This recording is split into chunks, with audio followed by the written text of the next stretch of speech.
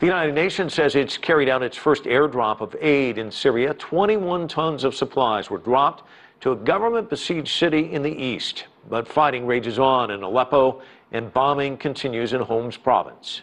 CCTV's Julia Lyubova reports from Moscow on some of the last minute diplomatic efforts to save this weekend's ceasefire. The U.S. Secretary of State John Kerry and Russia's Foreign Minister Sergei Lavrov held a telephone conversation early on Wednesday. They discussed Syria and the implementation of a ceasefire deal in the country.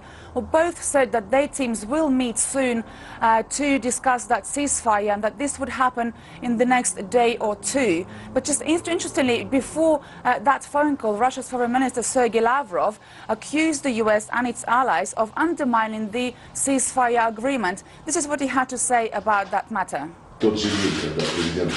As soon as the presidents of Russia and the U.S. approved the ceasefire initiative in Syria, voices from Washington and the capitals of U.S. allies began expressing doubts as to the viability of the deal. We would like to say that these voices sound more like calls for war and not for peace.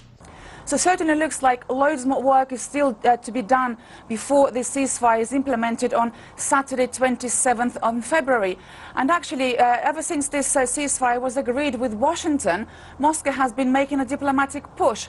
And uh, we have heard from the De Russia's defense ministry on Wednesday, who said that uh, Moscow is holding talks with Syrian rebel groups. And also, uh, Vladimir Putin, the Russian president, has held several phone calls on Wednesday with several several regional players.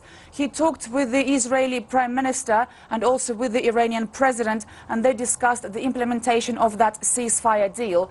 And also on Wednesday, Vladimir Putin talked to the Syrian President Bashar al-Assad, and in that phone call, uh, Bashar al-Assad said that the Syrian government is ready to help with the implementation of that ceasefire. All of this comes uh, just ahead of uh, the 27th of February, the deadline for the implementation of that ceasefire in Syria.